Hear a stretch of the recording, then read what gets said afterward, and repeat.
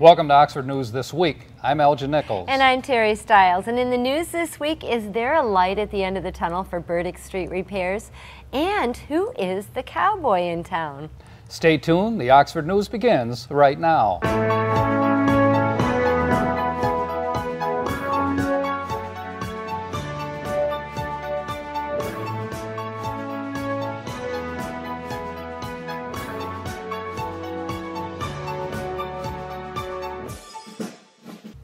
The Village of Oxford may have a solution to how to finance both reconstruction of the section of Burdick Street known as Cemetery Hill or Pothole Hill and a proposed East Edison Alley project. You may recall that the Edison Alley uh, project calls for construction of two-lane road just east of M24 from Ensley Street to the Holy Cross Lutheran Church parking lot. An additional one-lane road would then be constructed from the alley's southern, southern end to M24. Both roads would contain bicycle lanes, and these new uh, roads would ease some traffic congestion from M24 and spur additional commerce in the area. $800,000 is the total cost for both projects. Due to the advice of their township attorney, a request for village township officials for possible funding of the project was refused. Seeking other alternatives, the village manager, Joe Young, has authorized the municipality's bond counsel to draft a resolution for village council vote in which a five-year bonds would be issued to cover the necessary expenses.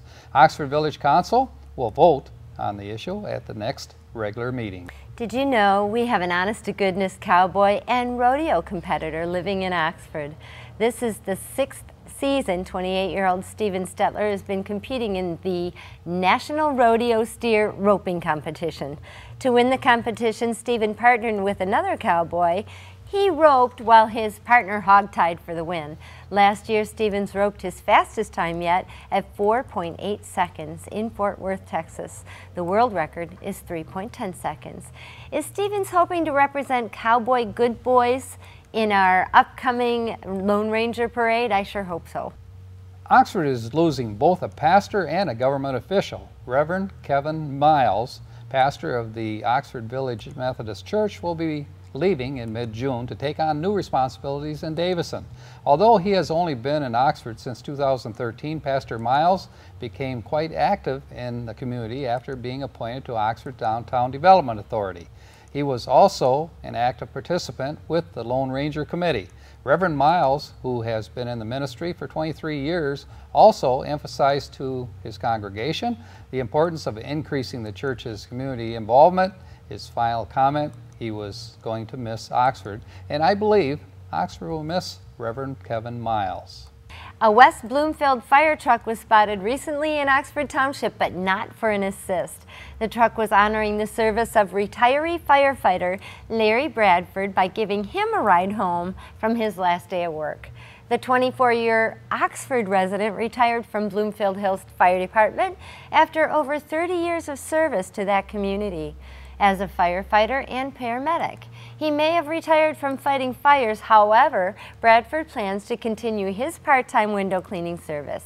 Good luck to you, Mr. Bradford.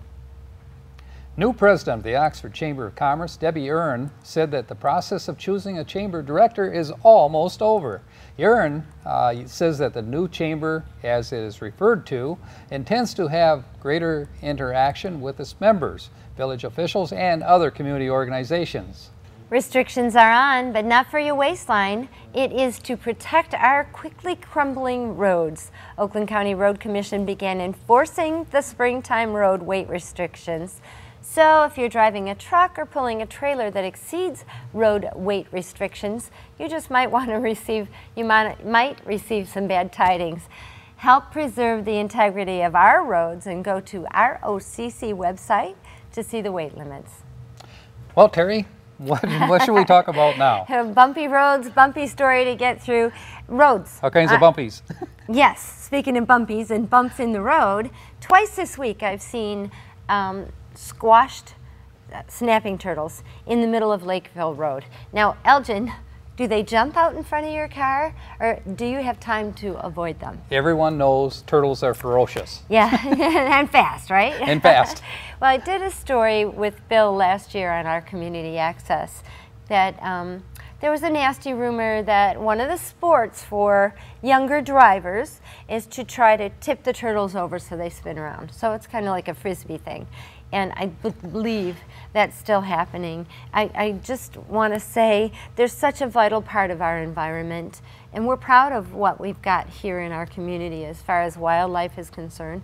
Um, I know that when they're older, they're going to think it's a terrible thing. So I just want to encourage parents to encourage your children please don't hit the turtles. I mean, even when you see them on the side of the road dead, you don't have to hit a turtle. There's a good way to go around them. If there's a big thing in the middle of the road, it's not a rock. It's Could a be turtle. a bear. Yeah. Instead, it's a turtle. It's no, you got to be careful of turtles. Yeah, yeah, yeah, yeah. Other It's little really- wildlife out there too. They're little Yeah, critters that all- can't defend themselves well. Uh, no, especially against a 6,000 pound killing machine, which is a truck or a car.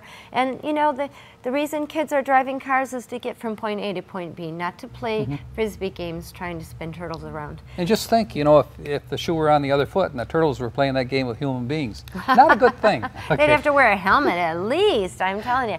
And I know that's a soapbox thing, but it's just really sad to see dead turtles in the middle of the road. It just doesn't need to happen. Great. And if you want to save our turtles, please spend the money to Terry uh, Stiles. She'll be glad to work it out. Yeah, right. I'll start a campaign. so that's it for Oxford News this week. If you'd like to hear these stories and more, go to your local store and pick a, up a copy of the Oxford Leader. Coming up next on OCTV, more news. First, I watch Auto Talk with Dave Kenny, then School News with John Oetjens, uh, then Oxford Local Sports, starring Jim Hughes, and finally, Dave Kenny's Science in the News. This is Oxford News This Week, and I'm Terry Stiles. And I'm Elgin Nichols. Remember, always be kind to your friends and neighbors, and thanks for watching.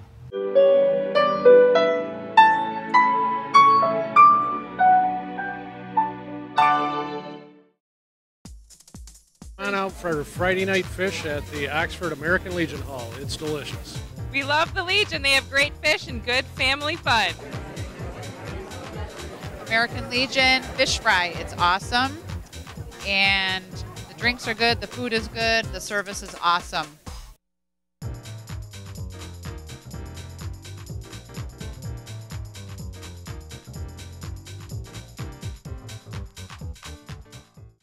You're watching OCTV, Oxford Community Television, serving Oxford, Addison Township, and the village of Leonard. Welcome to this edition of Auto Talk. I'm Dave Kenny, and these stories are taken from the publication Automotive News. In our first story, the University of Michigan's Mobility Transformation Center, along with key partners from a variety of industries, will begin construction of a $6.4 million simulated urban environment for testing of connected and automated vehicles, the university said on May 6th. The off-road five-mile test site to be located on 32 acres of U of M's North Campus Research Complex in Ann Arbor, Michigan, is being designed and built in cooperation with the De- Michigan Department of Transportation. A ribbon cutting ceremony for the test site will take place in mid-September in conjunction with the ITS World Congress. Industry partners, including Ford, GM, Bosch, Xerox, and Econolite, will each donate $1 million over the course of three years to support the MTC and its programs. The goal of the MTC is to lay the foundations of a commercially viable system of connected and automated vehicles, vehicles that communicate wirelessly with one another and with infrastructure to warn of potential hazards and allow increasing automation of vehicle functions. Within the next two years, U of M plans to have 9,000 intelligent vehicles operating in Ann Arbor. By 2021, plans call for demonstrating a working system adding up to 20,000 vehicles across highways in southeastern Michigan. Can't wait for that one. And at Fiat Chrysler, Fiat Chrysler automobiles will replace its four cylinder engine lineup with a new family of engines that share common parts and can be inexpensively customized for individual markets. Fiat Chrysler will also introduce gasoline electric hybrids, including a plug in minivan to broaden the availability of fuel saving 8 and 9 speed automatic transmissions. It also plans to bring more diesel engines to North America. Bob Lee, Fiat Chrysler's powertrain chief, outlined the company's powertrain plans through 2018 on May 6 to analysts and journalists in suburban Detroit. The new four cylinder engines will share technologies and parts, enabling them to be tailored to individual markets faster and for less cost. Lee said the new engines will share common parts such as pistons, fuel injectors, and combustion chamber designs. There will also be just two sizes of pistons. Lee also said in 2016 Fiat Chrysler will launch a gasoline electric version of the Chrysler Town and Country minivan, the first of several hybrids. The company is working on a belt alternator stop start system. Gasoline and diesel engines will share many of the same technologies. He said Fiat Chrysler will use fuel, save, fuel, that is to say, fuel saving technologies that provide the best bang for the buck that consumers want to buy. He cited dual clutch transmissions as a technology that delivers excellent fuel economy gains and carbon dioxide reductions, but that has been rejected by American car buyers. Fiat Chrysler offers a dual clutch transmission in just one low volume model of the Dodge Dart. Ford Motor Company started, uh, struggled uh, initially with quality and refinement problems with its PowerShift dual clutch automatic. Lee said the company is bullish on diesels based on the customer acceptance of the optional EcoDiesel in the Jeep Grand Cherokee and Ram 1500. And on the recall front, U.S. auto safety regulators have refused a request from two U.S. senators to encourage owners of cars affected by General Motors ignition switch recall to ground their cars until they can be repaired. The defect affecting 2.6 million vehicles has been linked to dozens of crashes in which the airbags did not deploy and at least 13 fatalities. In an April 28th letter, Senators Markey and of Massachusetts and Richard Blumenthal uh, urged the National Highway Traffic Safety Administration to advise owners of the recall cars to stop driving them until they can be repaired. NHTSA, in a response to Markey and Blumenthal, said that such an action is not necessary at this time. The agency said it reviewed tests in which GM simulated potholes, panic stops, and angled railroad crossings and concurred with GM's advice to drive with the ignition key on its own rather than on a keyring. And still at GM, General Motors is recalling 56,214 Saturn Aura midsize cars in the United States because the automatic transmission shifters may fail.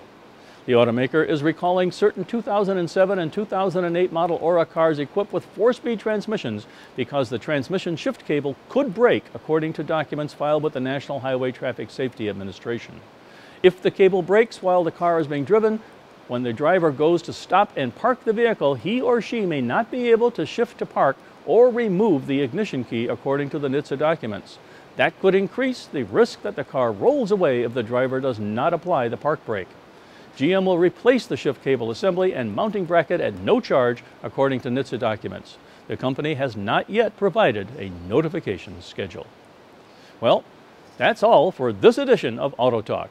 I'm Dave Kenny, and as always, may the wind be at your back as you cruise down life's highways. Stay tuned to Oxford Community Television, and we'll be right back.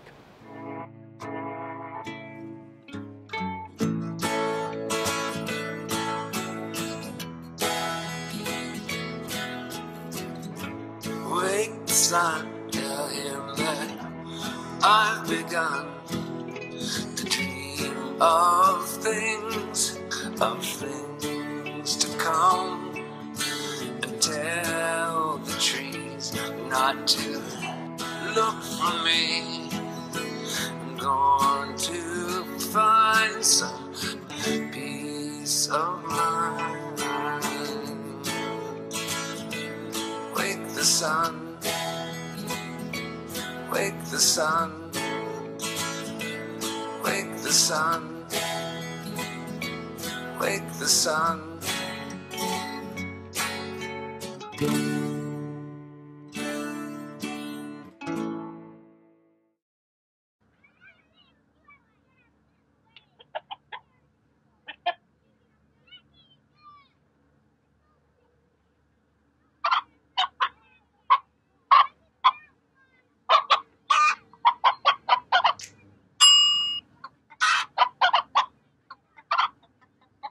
Separate raw meats from other foods by using different cutting boards. 3,000 Americans will die from food poisoning this year. Keep your family safer. Check your steps at foodsafety.gov.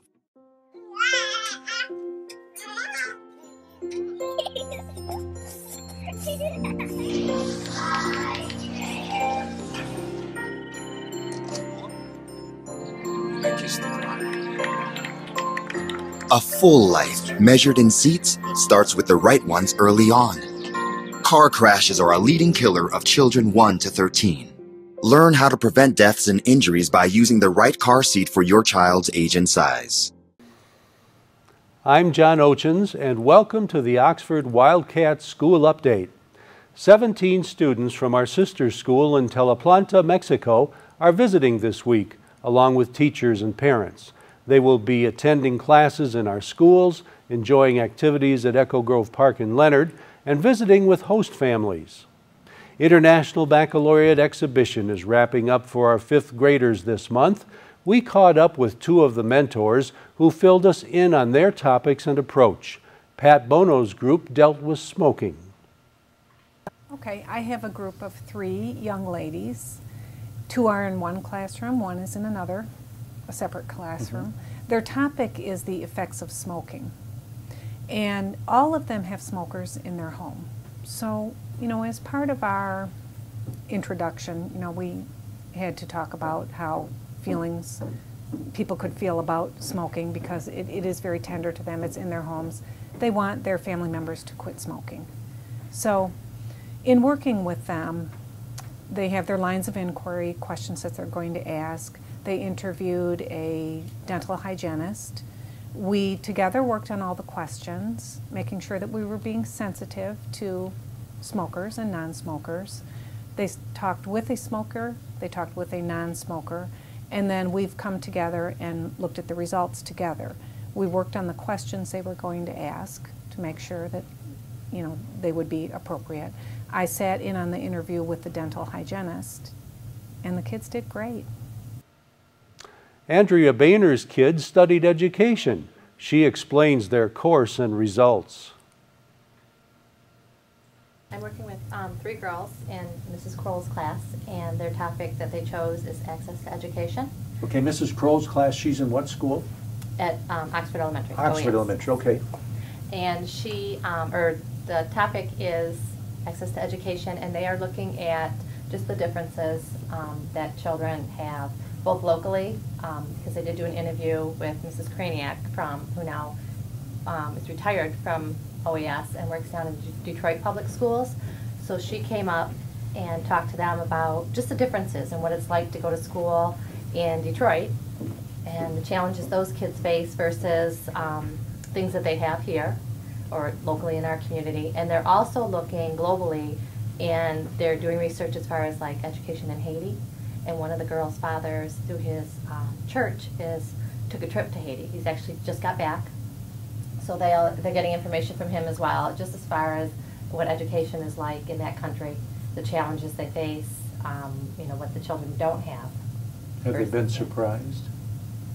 I think so. I think um, I think the topic when they discussed Detroit was eye-opening. Um, it was a group, and there were several groups with different topics, poverty as well as education. But I think that um, they just didn't realize what some children don't have compared to them. IB mentor Andrea Boehner. Oxford teacher Jennifer Trombley and her kids did something we can all be proud of. At the beginning of the school year, she learned that a friend was battling breast cancer. The chemo led to hair loss, which led to Jennifer inspiring her class to do something positive. She inspired two teachers, seven fourth graders, and one second grader to get a haircut and donate it to Wigs for Kids.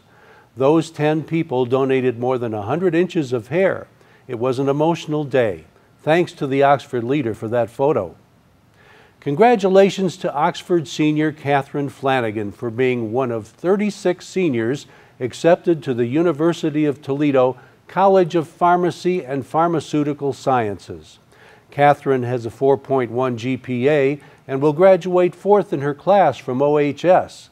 She says her inspiration came from an illness she suffered as a sophomore. It took nine months and 26 doctors to diagnose gastroparesis, a gastrointestinal disorder that caused her to lose 25 pounds.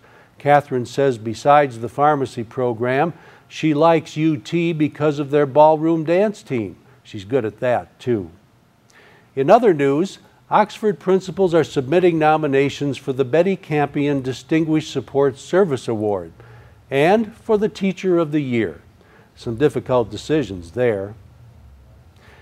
Thanks for joining us. That's the Oxford Wildcat News Update for this week. Stay tuned for Science in the News with Dave Kenny and Wildcat Sports with Jamie Hughes. I'm John Oetjens for Oxford Community Television, keeping it local. People think I'm trash, but they're wrong. Today I'm just an aluminum can, but one day I could be a stadium.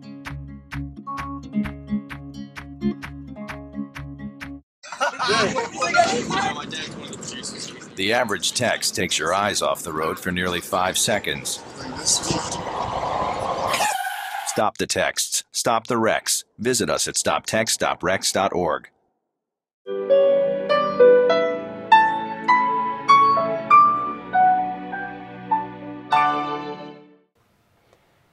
Now, following a very lopsided loss last Thursday to OAA rival Royal Oak, the Wildcat varsity boys lacrosse team had a chance to get back to their winning ways in a non-league matchup with Bay City Western at home on Saturday. And the boys did just that behind the play of junior Austin Kreshock and sophomore Ryan Kimbrough. The Cats clobbered the visiting Bay Cityers 14-2, winning 17 faceoffs and the ground ball battle 43-22. Now, what is being considered his best game of the year, Kreshock scored four goals with three assists and was just ahead of Kimbrough, who starting in his very first game at attack, replacing junior Scott Randall, got himself three goals with two assists, earning high praise from head coach uh, Greg Norman, who gushed that Ryan is a natural scorer, and playing attack makes it that, that easier for him to do what he does best. The rest of the scoring onslaught was aided by Lars Jorgens with two, Nora Grove, Gavin Fritz, Nathan Tilley, Louis Urban, Dominic Buchini, their parents, the mascot, and even I got a few shots on goal. Now, the boys will be home for this next week for two games against uh, our rival, the Mistake on the Lake Orion Dragons on Tuesday, and Sterling Heights for senior night Thursday before finishing the season at Holland Christensen on Saturday. So there's plenty of time to get behind this talented team before they start their playoff run Monday, May 19th in the first round of the MHSAA postseason. Now, the winning ways continued at Devil's Ridge for the boys varsity golf as they set a new school record for dual match in their 144-155 defeat of Bloomfield Hills High School behind the tiger-like play of Matt Prince, Doug Schultz, J.J. Lewis, Raleigh Gerbenson, Eric Curtis, and Logan Scott. So congratulations, boys, on that win. Sadly, on the other side of things, though, our Lady Cats varsity softball team had a tough loss of 7 to nothing at the hands of Marian High School. Pitcher Jesse Elving picked up the loss and went 2 and 3 at the plate, along with Cheryl Banas, who went 1 and 4. Maddie Dinges went 1 and 4 also. Sky Donaldson went 2 and 4. Claire Hermanson went 1 and 3 at the plate, and Ashley Suzmansky went 2 and 3. Now, the big local pro sports news was this past weekend's 2014 NFL Draft, and our lovable Lions hoping to get the players they needed to finally make a championship run.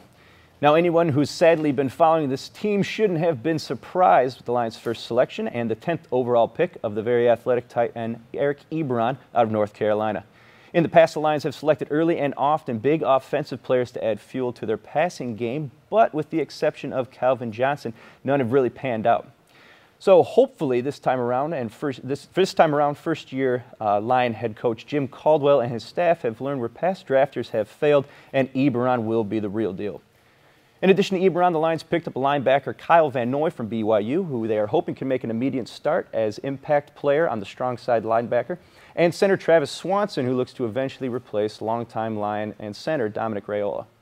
Now, I'm Andy Curtis. Remember, if you want to give us a sports story or bring to attention a score that I have missed or a name that I have inevitably butchered, please shoot me an email at andrewcurtis23 at gmail.com and put OCTV Sports in the subject line.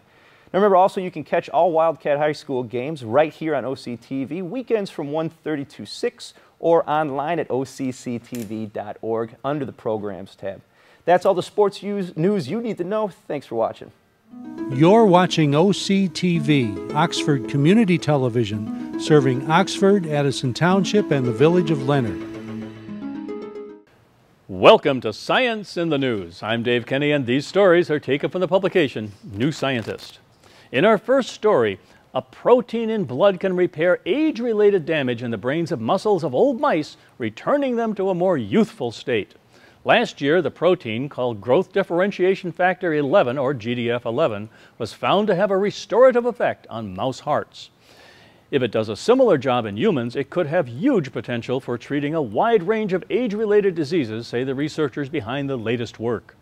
The idea that an infusion of young blood could regenerate aging bodies was explored several years ago when the circulatory systems of old mice were physically connected to those of young animals as if they were conjoined twins.